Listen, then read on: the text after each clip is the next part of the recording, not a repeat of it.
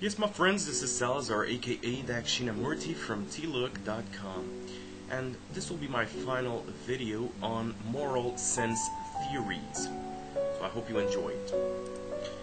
Some false beliefs are harmless and can lend themselves to casual debate. Some beliefs are dangerous, and dissuading people of those beliefs takes on an added importance. Moral sense theories fall into the latter category. Evolutionary ethics is not the only moral sense theory that is out there. Many religious views of ethics put them in the same category. They hold that God has written a true moral code into their brain. Reflecting on how they feel about a particular action is considered pretty much the same as asking God, is this right or wrong? If it feels good to them, then this is taken as God's permission to go ahead and do it. Common subjectivism is another moral sense theory. Only the common subjectivist denies that there are any external moral values to sense. Consequently, one's feelings can never be mistaken. There is no fact of the matter to check them against. This too leads to the conclusion that if it feels good to you, then do it. Evolutionary ethics says that we evolved a faculty for sensing moral properties that we can consult to determine right from wrong. Though individuals might suffer from the occasional moral illusion, similar to optical illusions, this sense organ can still be trusted to be reliable. What all of these theories have in common is that they tell people to answer moral questions by turning their attention inward by asking and answering the question, How do I feel about this? These internal theories of morality stand in contrast to external theories that say that to determine moral facts, you have to look outside of yourself at the real world.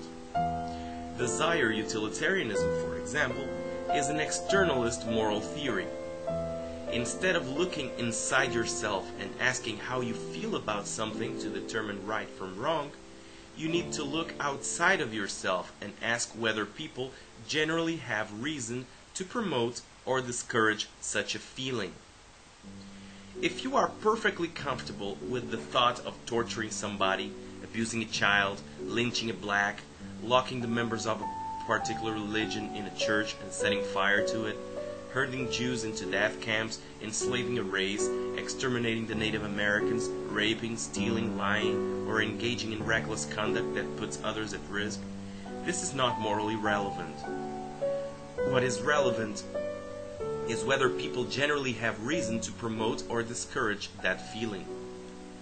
The reason that moral sense theories are not just wrong, but dangerous, is because it tells people like those listed in the paragraph above that they can trust their feelings when it comes to measuring the morality of their conduct. In telling them this, it gives them a moral permission to act on those feelings. In the cases listed above, this is not a good thing. Internalist theories of ethics are fine to the degree that an agent has an aversion to harming others, a desire to tell the truth, an aversion to breaking promises, a desire to repay debts, a fondness for liberty, an aversion to punishing innocent people, and the like. That is to say, internalist theories of ethics are fine for people who are already good.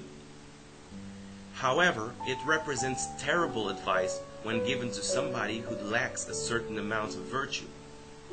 We can assume that among the desires that most people have a desire to do that which is right, or perhaps more commonly, an aversion to doing that which is wrong. If a person has such an aversion, then all we need to do is to point out that X is wrong, and he will acquire a motivating reason not to do X. It might not always be a sufficiently strong motivating reason. However, in some cases, it will be. Now, we tell such a person that to judge whether X is right, they need to focus their attention on their own feelings.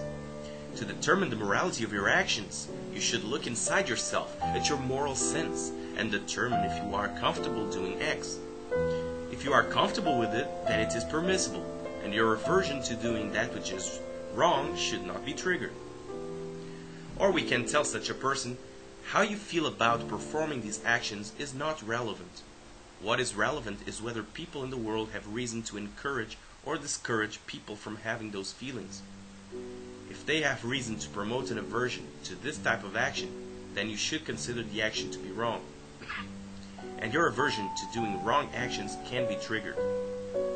Of these two options, the first option is going to get people defrauded, robbed, raped, murdered, enslaved, and otherwise abused. The later option has the potential to reduce some of those frauds, robberies, rapes, murders, enslavements, and abuse.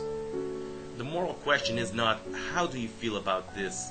The moral question is how should you and everybody else feel about this? Moral sense theories, telling people that they can judge moral qualities by measuring their feelings, are not only wrong, they are dangerous. Externalist theories that tell people to look outside of their own feelings at the reason for action that other people have are a little safer. And uh, just a final note I'm not arguing that a proposition should be considered false if it is dangerous. I'm arguing that false propositions exist on a scale. Some false beliefs are more dangerous than others, and we have legitimate reason to be more concerned about dangerous false beliefs than harmless false beliefs. So I hope you enjoyed my video. As always, I encourage you to leave your comments, your critique, your suggestions, and if you enjoyed the video, please subscribe to get smarter. See you soon.